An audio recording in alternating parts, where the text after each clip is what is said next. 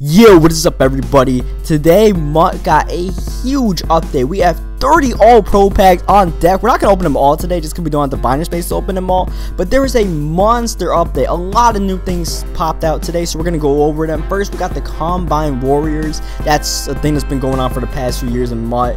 They got 95 overall Taylor Mays is the first card out. They got the Ultimate Master set that gives you a 99 Kam Chancellor and a 96 Byron Maxwell. That's if you do the Roadmaster and the MUT Master. Then you get the Grand thing. And part of the Grandmaster thing is these trophies that you gotta get. You put bronze and silver players in these sets, you get a trophy, you have to do that for every single team and the free agents, and you get a 99 Barry Sanders along with a collectible for the Ultimate Master.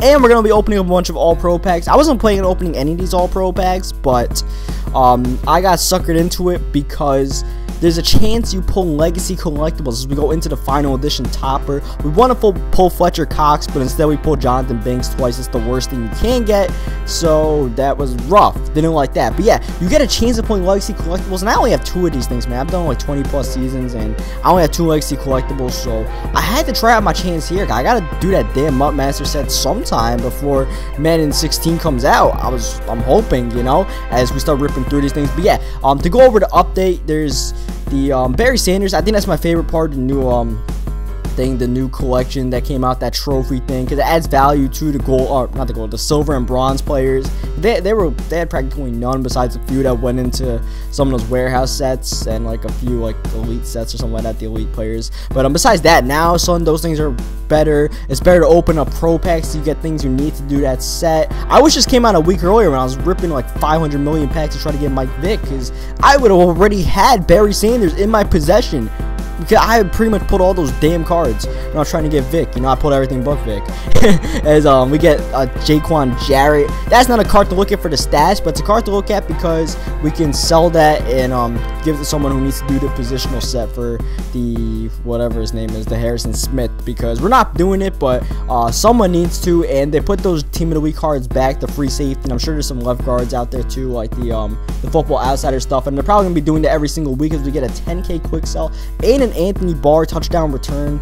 So this is actually a pretty decent all-pro back considering the way these things are going as we get their Jaquan Jarrett too. So I mean this is not bad. You see like a Nigel Bradham and we get a Tavon or oh, not Tavon Austin, a Taylor Mays collectible. This is actually a really really good all-pro pack.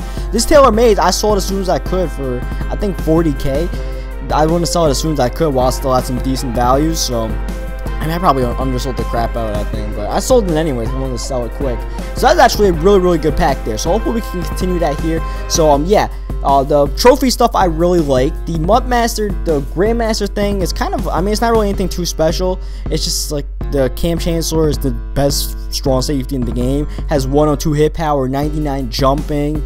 Uh, other than that, some decent stats, nothing that really pops out the page, and his height is up there too. I mean, it's a pretty beastly card, but I mean, I'm not exactly going crazy over it because, you know, just I, I still like Barry, you know, and plus the 96 Byron Maxwell, it's an okay card. I guess it threw it in there just so all the Legion of Boom cards are part of the MUT Master thing, just like they're all on the cover, so.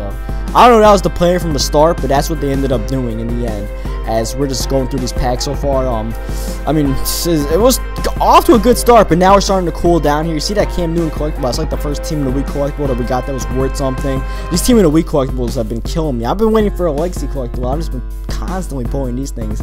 And they also added new throwback and flashback. That the throwback and flashback players. A lot of them.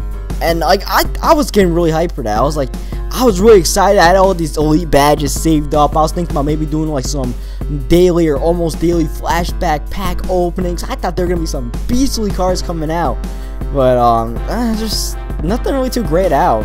As far as throwback players, throwback players, you know that that set got a little bit more value to some pretty decent players that came out as this thing. I can't do anything but quick sell that because you can't auction it, and um, I already put that in the set for Julian Edelman. So I mean, thanks for nothing, I guess. Like, thanks for 250 coins on that spot there. But yeah, I mean, back to the thing, the throwback and flashbacks. It's they're not bad. I'm not saying it was bad, but I'm not excited about it. I'm not gonna be opening a bunch of flashback packs for, or even throwback packs to try to get these players simply because there's not it's nothing too special, you know. It's just a bunch of new 94, 95, 96, 97 overall players. I mean, there's already a lot of those kind of players out there right now, especially with the team of the year stuff that happened recently.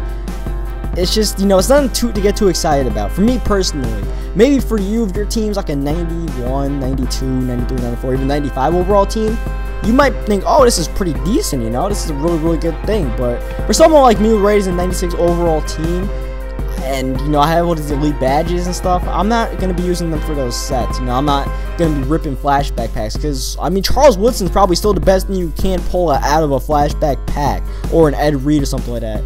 As far as the throwback pack, they did add some new um, NaVorro Bowman and stuff like that. And there's, there's some good flashback pack flashback players, don't get me wrong. Vincent Jackson, DeSean Jackson, a 99 speed Devin Hester. There's some good players you can pull. It's just nothing that I'm personally gushing over. As we got a Steve Smith collectible here. This is the first like decent thing we pulled in a long time. I was like, oh, whoa, there we go. I mean, it's something, right? We're not getting any legacy collectibles. We're just, you know, just not pulling any of those. We haven't pulled a single elite player. But I mean, we got to get excited over Steve Smith collectibles. So that's got to be going for at least over 10k. So I guess that's cool. But besides that, we're not getting anything else. This is the last pack, and that's about it. So that's my thoughts on the whole thing. I'll get you guys a flashback pack tonight just for the hell of it. Besides that, we'll see what happens from there. So leave a like in the video if you enjoyed it. Subscribe for more, and I'll catch you guys next time.